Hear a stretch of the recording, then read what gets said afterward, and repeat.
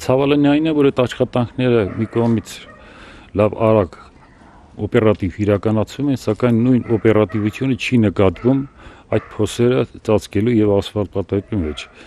Դրա հետ կապված երբեմն քամու արկայության պայմաններում ահավոր երբեմն 10 անգամ գերազանցում է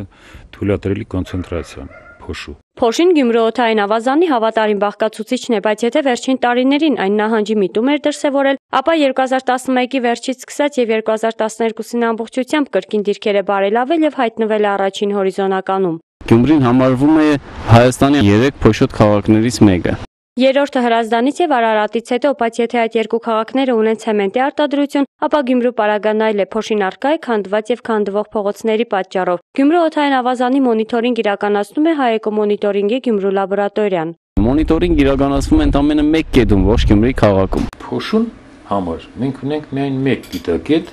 դա Աստղի հրապարակի դիտակետն է։ Իհարկե մեր քաղաքի համար առնվազն 3 դիտակետ պետք էր, բայց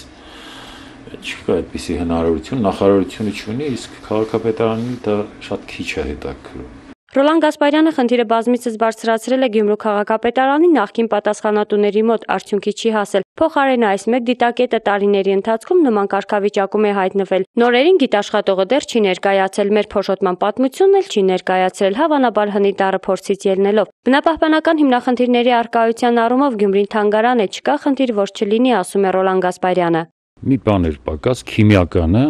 որը վերջին տարիներս նույնպես գլուխ է բարձրացնել,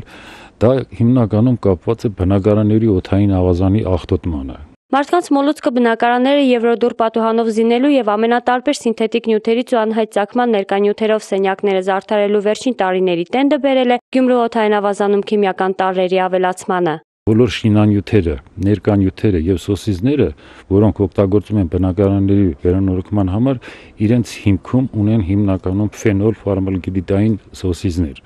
որոնք խիստ տոքսիկ նյութեր են։ Դրա հետևանքով երբեմն մարդիկ շատ բողոքում են գլխացավից, բողոքում են պերիֆերային իմունային համակարգի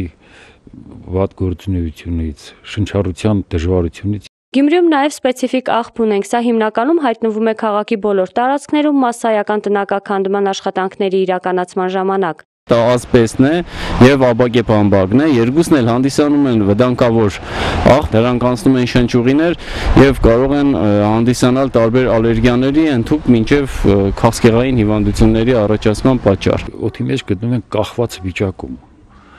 եւ բավականին մեծ տարածություններ տեղափոխվելու ընտունակություն ունեն առողջապահության համաշխարհային կազմակերպության տվյալների համաձայն դրանք ներկայացնում են բավականին վտանգավոր նյութեր են հանդիսանում, ունեն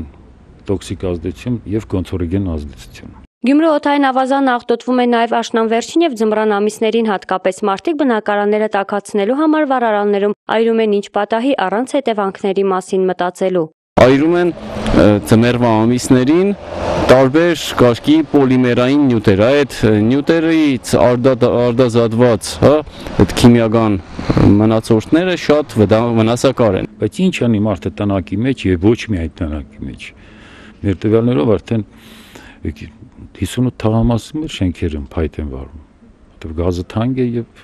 անհամեմատ կալորականությունը ցածր։ Հայեկո մոնիտորինգն արդեն 3 տարի է Գյումրիոթային ավազանում նմուշարում է կատարում նաև տարբեր գազերի քանակության որոշման համար, բայց եթե փոշու համար 1 դիտակետ կա քաղաքում, ապա վտանգավոր համարվող գազերը նմուշարվում են քաղաքի 24 դիտակետից։ Արմենու Հիմնասյան, Անդրանիկ Բարբարյան, Ազդարար